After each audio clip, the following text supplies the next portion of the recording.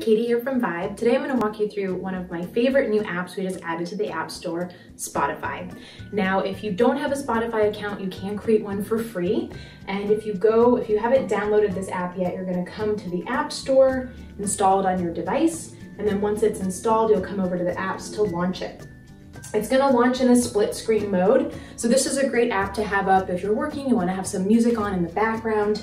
You'll be able to sign into your account here, start a playlist, hit play. You can also search or access your library, access all of your playlists on here.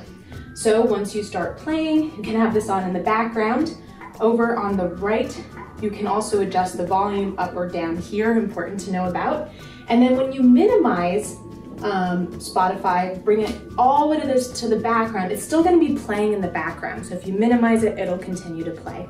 Now, another helpful feature to do when you're using uh, Spotify is do the split screen. So if you want to whiteboard, work on something, or use another app, um, just come to the launch center and you can drag it and drop right here to launch in a split screen. So that can be helpful if you want to have access to the controls as you're working on your Vibe canvas. And we can also adjust this so it's only a third of the screen.